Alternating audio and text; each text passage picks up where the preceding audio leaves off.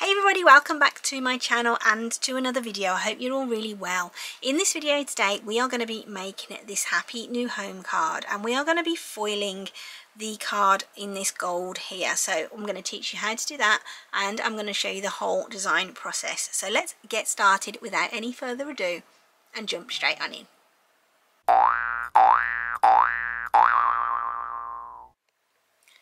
Let's quickly run through all of the materials and supplies that we're going to need for this project then. If you are doing it with the foil method, like I'm going to show you in this video, you are going to need a Heidi Swapp Minc foil applicator machine. This is the 12 inch one that you can just see in the corner of the shot here. You can get a 6 inch one as well. If you haven't got this particular machine but you do have a laminator at home, you can also use that as well. To go alongside the machine, you're going to need some toner reactive foil. This is their own brand one. I bought this from Hobbycraft when I first got my Minc machine and this is the gold one that I'm using here. You can get other foils which I have used and I will tag some of those down below in the description for you so if you want to check those out you can. So you're going to need some foil. Then you're going to need either a pre-cut, pre-scored card like this. It comes with a card and an envelope. This is a big pack that I've got here. You can pick these packs up at the range. They sell them in Hobbycraft as well, all different colours and sizes. Um, this is a 7 inch by 7 inch square and as I say it has a white envelope with it too. I prefer these because it then just saves me having to make a card and an envelope and it misses out a step when you are actually doing your project so it does save a little bit of time. Then I've got some really nice glitter card. This is the champagne coloured glitter cardstock. You're going to be able to pick this up on my store pretty soon. So keep an eye out for that. And when it's on there and it's live, I'm going to pop a link down below for you so you'll be able to check that out. There's going to be lots of different colours of this, but this is the champagne glitter cardstock. Then I have just some white pretty thin stuff. This is I think 160 GSM and this is what I'm going to put through my laser printer when I print my design. Then over here I've just got a few basic supplies uh, that you might want to use. I have my pick me up tool, a weeding tool, I've got a true control knife blade there, a little pen, some scissors and some glue. I may also use some 3D foam pads but I haven't got those out yet, they're still in their box. So now that we've gone through everything we're going to need, let's get started with the design. So this is the design that I've put together in Cricut Design Space and I will be sharing this with you so you'll be able to pick this up from my profile.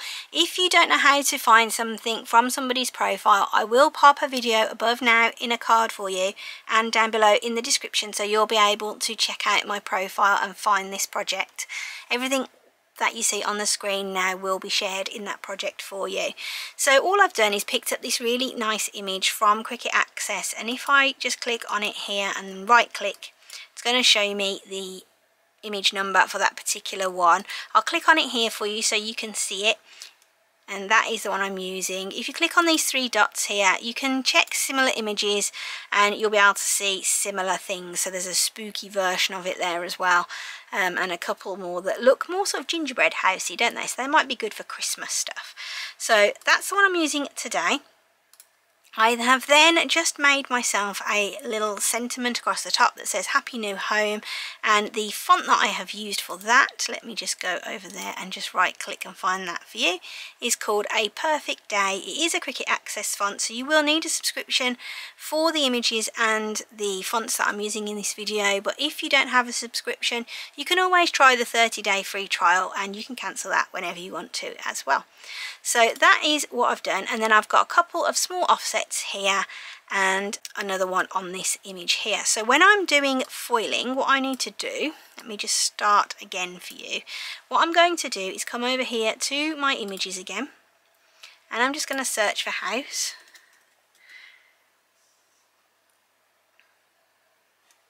And that's the one I've got there. So let's add it to the canvas. So as you can see, this is a single layered image. If I roll it over that, you can see straight through it. So what we need to do is attach that to something in order so that it's going to print and it's not going to cut each one of these details out individually.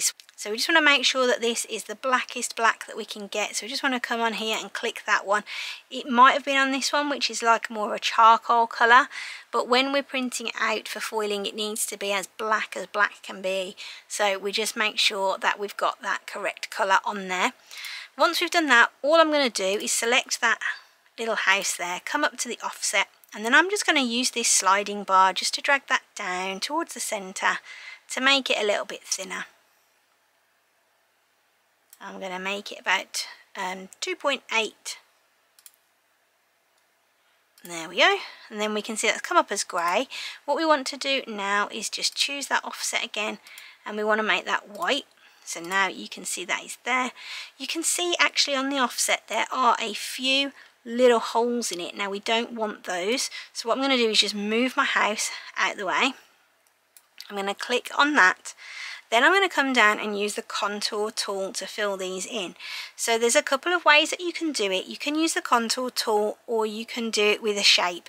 I'm going to use the contour tool for this one. So if I come down to the bottom, click on contour, you can see all of those dots are here and then they are all listed on the right hand side here and you can see there's lots and lots of tiny little little blobs they're going to make little holes in my design and I don't want that so all I'm going to do in this instance is click on hide all contours.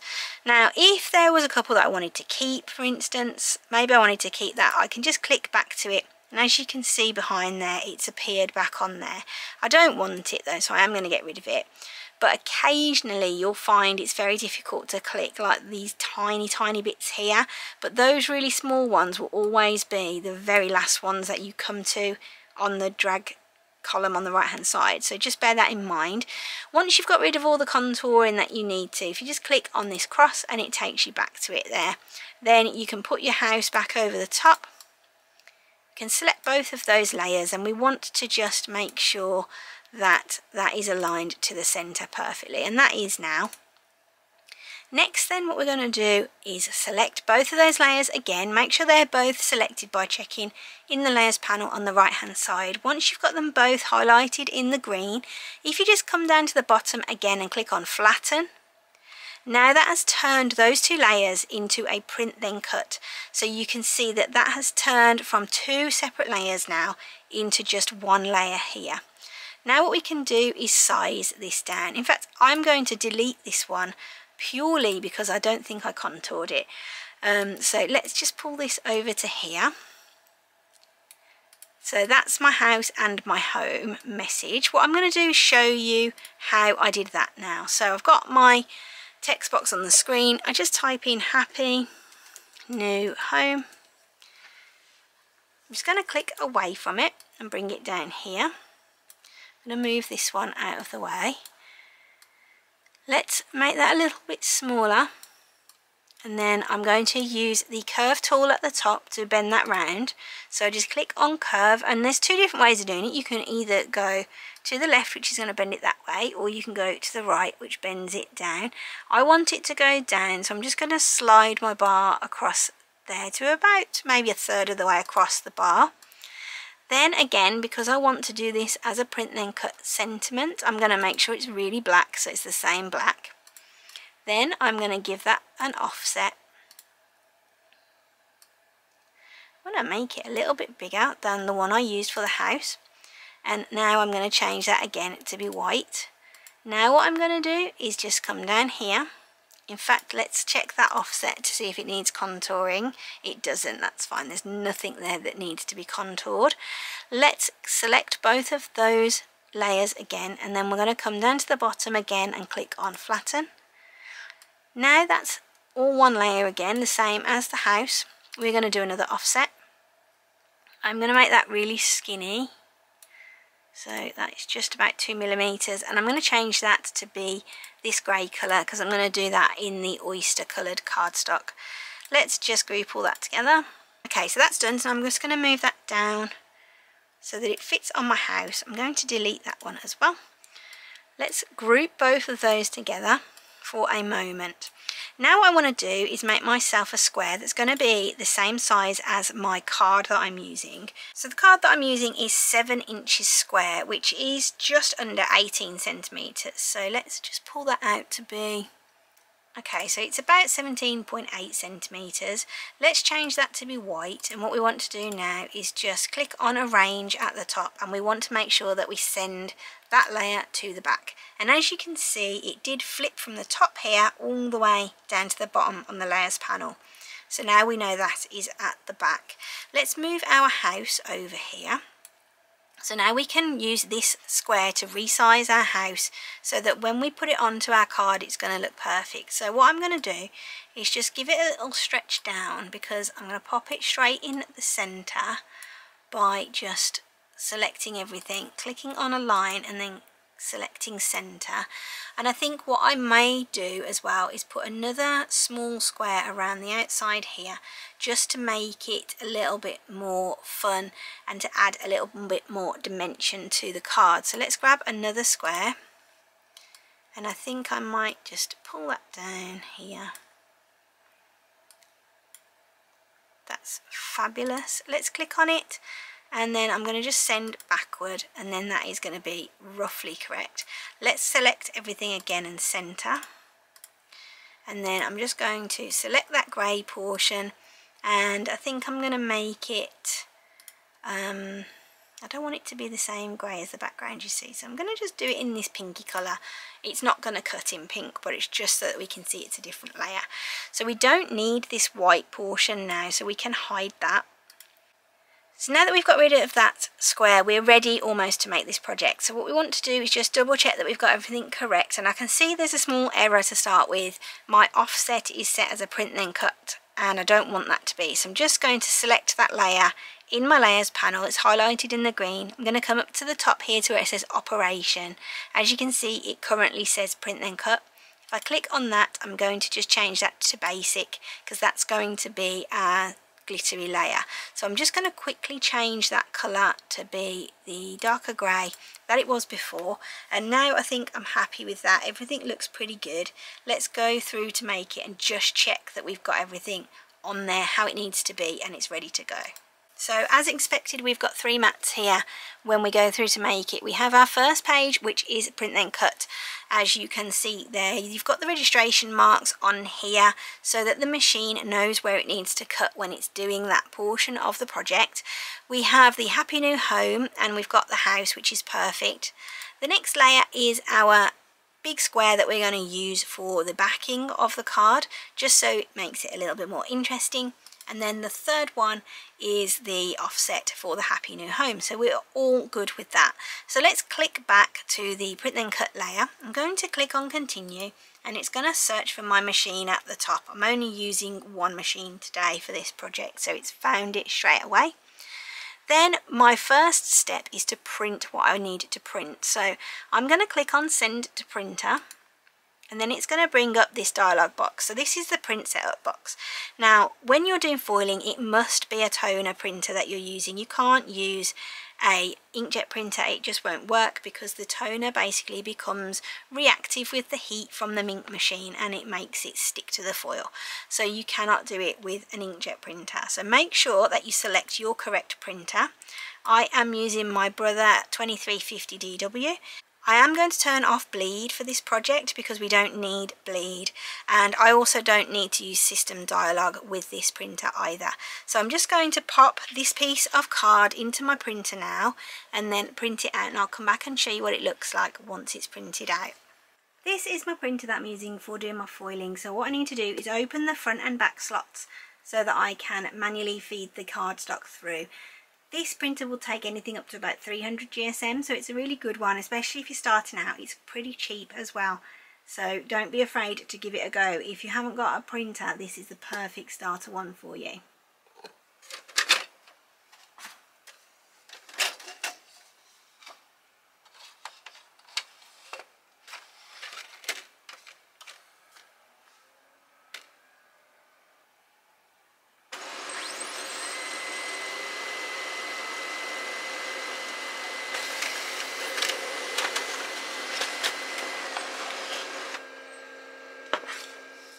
Here's the printout then, as you can see, it's a really nice deep black so it's perfect for what we want to do with it. The next thing to do then is to cut this out on your Cricut. You can either cut it out first before you foil it or you can cut it out after you foil it. I prefer to cut it out before I foil purely because if the Cricut messes up the cut or anything's not quite right you haven't wasted your foil and you can do that afterwards as well. So what I'm going to do is grab myself a mat and I'm going to cut this out As you can see then on the screen, the status in number one has changed to printed and it's giving us the option now to set our base material. So this particular cardstock is from Hobbycraft. It's about 120 GSM, I think. I usually use the medium cardstock setting for this one, so I'm going to select that. I am not changing my pressure but I am using my deep point blade rather than my fine point blade. And this is just because I find with my machine I get a much better cut than what I would if I was using a fine point. So you just need to know your machine yourself as to which blade you're going to use for this particular project.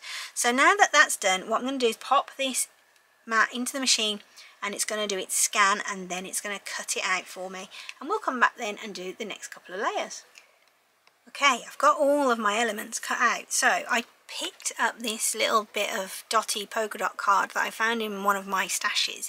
And it's just white with the um, debossed little dots on it, which I thought would be really nice as the background for the house.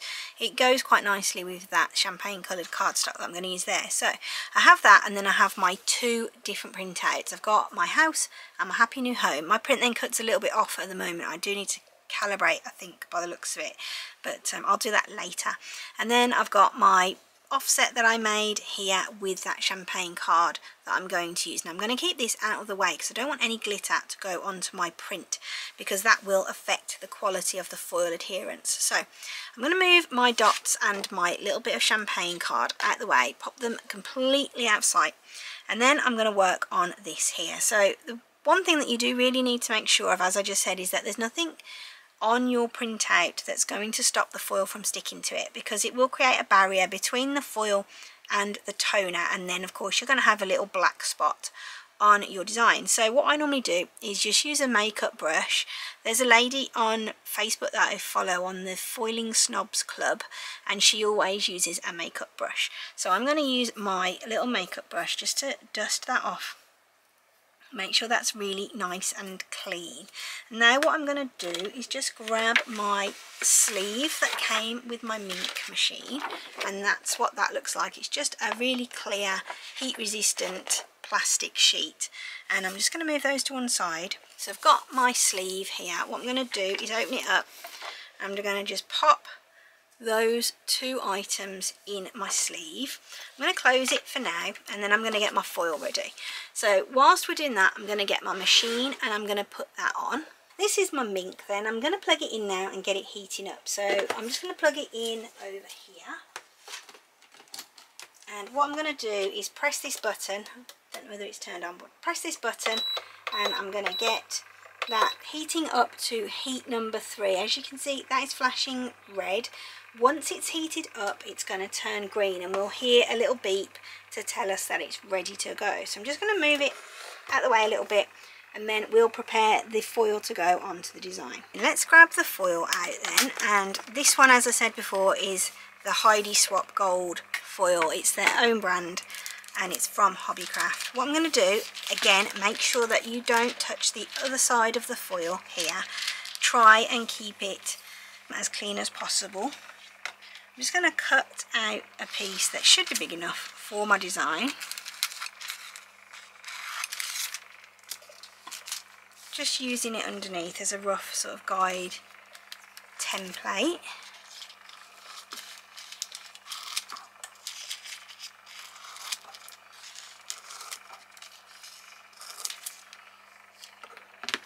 Soon as I cut off the piece that I want, I'm just going to roll this back up and pop it back into the plastic box that it comes with just to help keep it protected and clean. Then I'm going to again get my makeup brush and just dust off that foil just in case anything has happened to get on there. Sometimes even with all this preparation you will still find that something will get stuck to it. I'm going to just open up my sleeve now and it goes with the gold side facing up towards us and the silver side is underneath. I'm just going to roll that back down over it and then give it a good press down with my hand just to make sure that that is fully flat and nicely stuck down inside of there. Let's go back over to the Minc and put this through. As you can see then the light has turned green on the machine so it's ready to go. I'm just going to pull it forwards a touch here all I'm going to do now then is just get my sleeve and just slide it straight through into the machine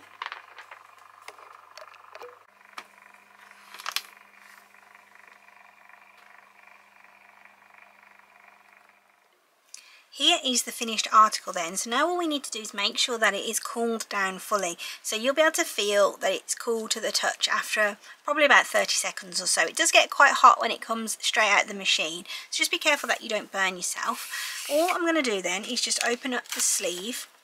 I'm going to try and keep that foil flat so we don't get a sneak peek at what it looks like. And then this is the most satisfying thing in the whole world to do. Just pull back that foil and you can see how absolutely perfect that foiling is.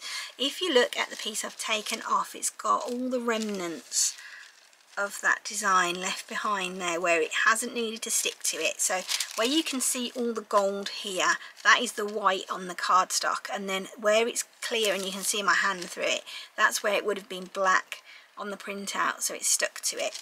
Let's just throw that away. Unfortunately, we can't reuse it. I'm just going to take those two pieces out. Let's fold up my transfer wallet and just put that out of the way again so it stays nice and clean and tidy. And then these are the two pieces here. Look at that. The sheen on it is amazing. And the same with the happy new home part as well it looks so lovely right let's put it all together so what we're going to do is grab ourselves one of these pre-cut cards. I've just taken one out of the package and here is the actual card itself. You can see inside it's pre-scored and ready to go. Um, this is my piece that's going to go on here. Then I'm going to pop my house on the top and then I have my happy new home to go on there as well. So what I'm going to do is put all this together now. Let's decide what we're going to do. I think I'm going to glue this bit down. So I'm just using some Collall glue here in one of my precision tip bottles. So easy to use. I love this glue because it doesn't make any warping on any card or paper that you might use it on Sometimes with a wet glue you'll see like a, where I've put that wiggle of the glue on there you will see that through the cardstock but this stuff does not do that. You do not get any warping at all. So I just put that on there and then I'm just going to pop it down onto my card. Just give it a good press. You can wait for it to go a bit tacky if you want to um, but I haven't bothered on this occasion. Let me try and find some foamies. There we go. I'm going to use foamies for this happy new home. It's going to be interesting to see actually if this sticks. So let's just put a couple of foamies on the back of here. These are just um, ones I've picked up at craft shows, but I do buy them from Hobbycraft sometimes as well. They're about a pound for three sheets, which is a pretty good price. I don't usually scrimp on them. I usually like to completely overload my designs with sticky foamies.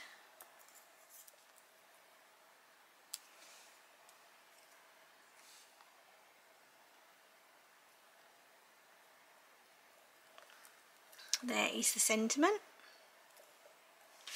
And I'm going to stick that on there with some foamies as well, just to make it stand up a little bit and look pretty good.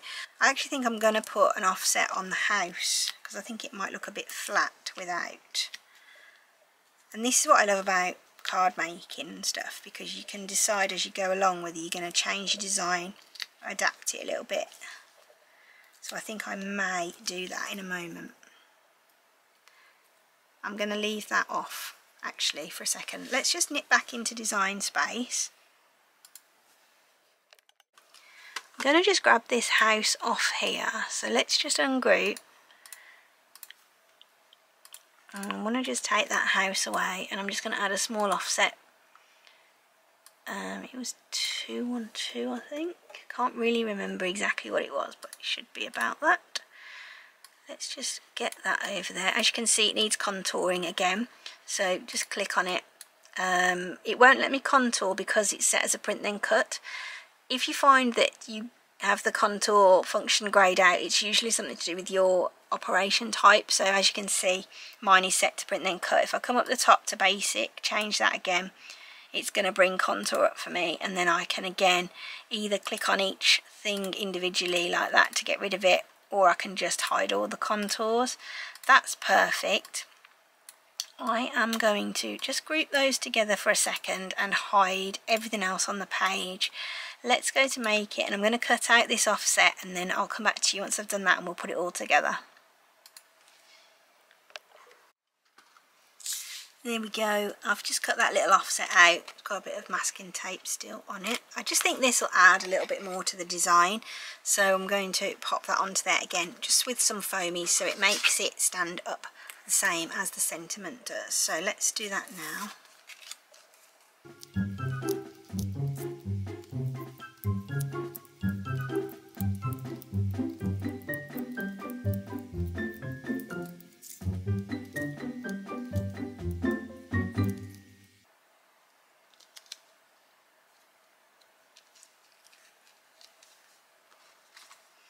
Now then, I'm just going to move my bits and bobs out of the way.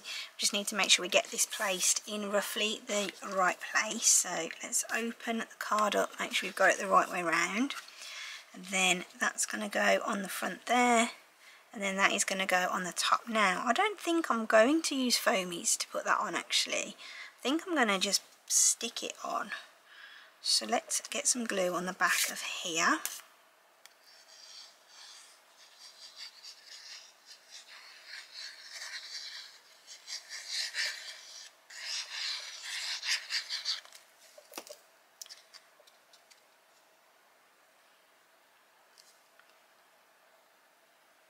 I'm just going by eye just to make sure I've got it in the right spot. You could measure it if you wanted to.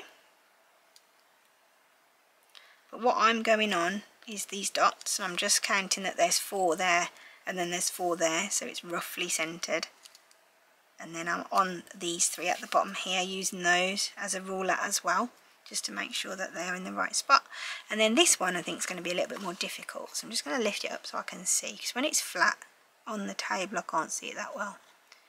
Right so I've got the foamies on the back of here already and I'm going to just pop that on there.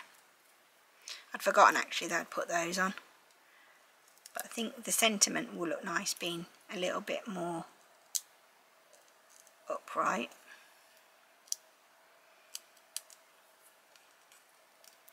When you're making a card like this as well you can always put yourself a paper insert inside and get the Cricut to write a message if you want to but I am just going to write my own message in this. This is for a friend that's moved from Portland in Oregon to Arizona recently with her um, new fiance.